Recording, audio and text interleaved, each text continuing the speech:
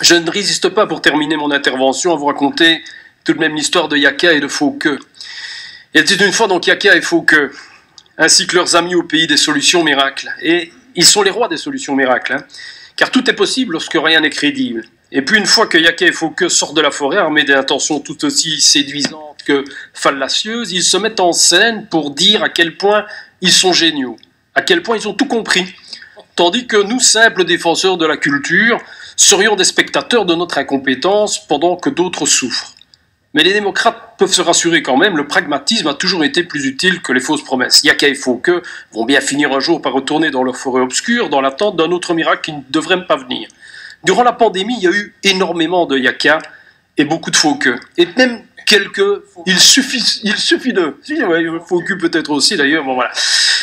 Et maintenant qu'on commence à voir un petit peu, ou à espérer le bout du, tunnel, le bout du tunnel, on voit arriver les Yaveka.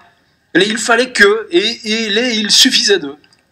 Et pendant ce temps-là, nous allons continuer à nous mobiliser plus que jamais pour défendre la culture et les artistes de façon concrète comme il se doit. Je vous remercie pour votre attention.